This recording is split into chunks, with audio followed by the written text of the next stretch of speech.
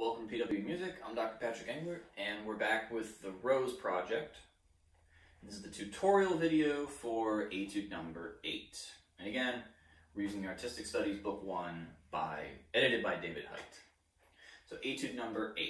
This one is really more of a more of just a technical finger doodle than a lot of the other technical ones. So a lot of it is, again, just practicing it and getting it in the fingers. But some things to keep in mind. Um, with this articulation pattern, really anytime we're gonna anytime we have a staccato mixed with slurs, we're gonna talk about this. But you want to keep that beat even. And it's gonna be what you're gonna do is one of two things. You're gonna jump off the staccato too quickly and speed it up at the beginning, or the three slurred notes, since it goes to a neighbor tone, it's going to be rushed.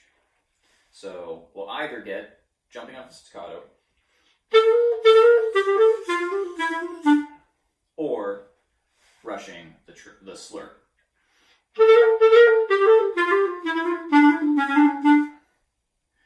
Of course, you can probably get some combination of the two, which,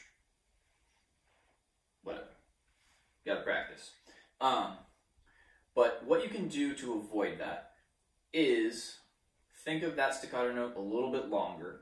It's not just a short peck, but you can think of it a little bit longer and give it give it its full time.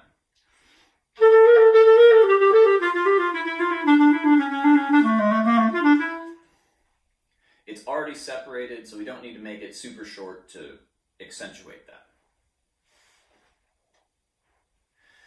Additionally, the staccato note for in a lot of this etude, the staccato note is what's changing from beat to beat. It's showing the melodic progression, if you will.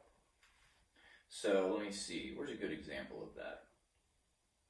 45 really shows a great example of this, since the three the slurred notes stay the same, whereas the staccato note changes, and that's what you want to accentuate even when the three notes follow what the staccato note changes.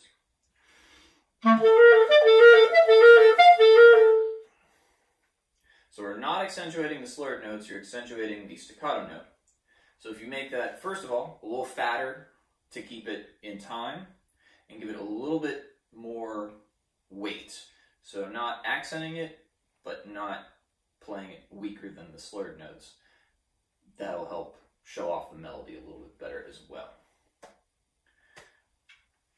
Now, before you get going too quickly, look ahead to measure 35, where we have the octaves. Those, if you get pushing a little bit too much, can pose a problem, since you're leaping over the break, and we're moving more fingers suddenly after kind of keeping it in the same areas as we go through the etude. And then towards the end, we'll say measure 62. We have longer staccato passages. So again, don't rush up to there because that's where that's where the crash will happen. Keep it in check and keep those keep those staccatos nice and clean so we don't rush them. And then last thought at 62, you want to keep those staccatos previously fat like we were talking about so that you can keep this keep a similar articulation once you get to these longer passages. So if we start at the beginning, like a little bit fatter staccatos. Once we get to 62,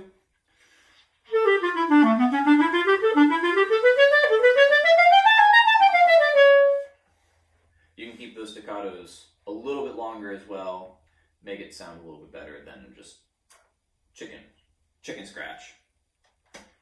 So that's about it for this one. Like I said before, it's a lot of practicing it, just getting in the fingers. So good luck, and we'll see you in the next video.